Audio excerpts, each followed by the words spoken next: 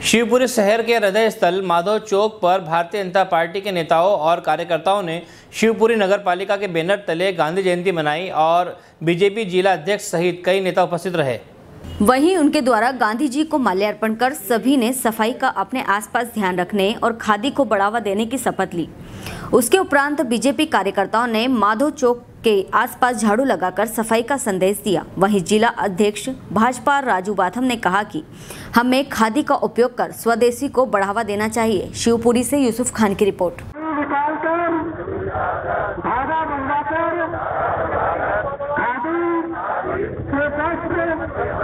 भारत में पहनने के लिए की आज जयंती है, हम सभी कार्यकर्ताओं ने स्वच्छता भी आज यहाँ चौराहे पर की है और स्वच्छता का संदेश भी गांधी जी का संदेश था, जिसको जो है माननीय यशस्वी प्रधानमंत्री नरेंद्र मोदी जी ने और शिवराज सिंह चौहान जी ने बहुत ही संजीदगी से और गंभीरता से लेते हुए सभी कार्यकर्ताओं से पिछले दो तीन वर्ष से आप देख रहे हैं कि शहर, नगर, गाँव, पूरा देश स्वच्छ नज़र आ रहा है। इस प्रकार आज हमने प्रतिबद्ध है और संकल्पबद्ध है कि हम सिंगल यूज़ प्लास्टिक का उपयोग नहीं करेंगे। आप अभी चौराहे पर आपने झाड़ू लगाई और आपके पास में प्रेम स्वीट्स पर ज़बरदस्त गंदगी है। वहाँ क्यों नहीं की अब धीरे धीरे हम धीरे धीरे उस पथ पर भी जा रहे हैं उधर भी जा रहे हैं। नहीं अभी तो आपने समाप्त कर दिया है ना यहाँ पर।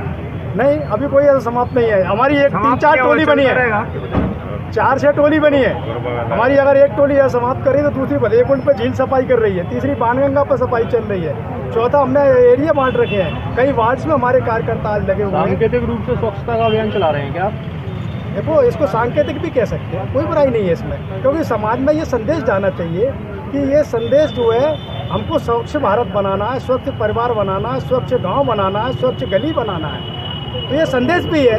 और दूसरा, हम सब जो आगे आके करेंगे, मैं आप पत्रकार बंधुओं से भी आग्रह करता हूँ कि आप भी आइए और आप भी स्वच्छता में सहभागिता करिए। देश आपका भी है, हमारा भी है, सबका देश है। धन्यवाद।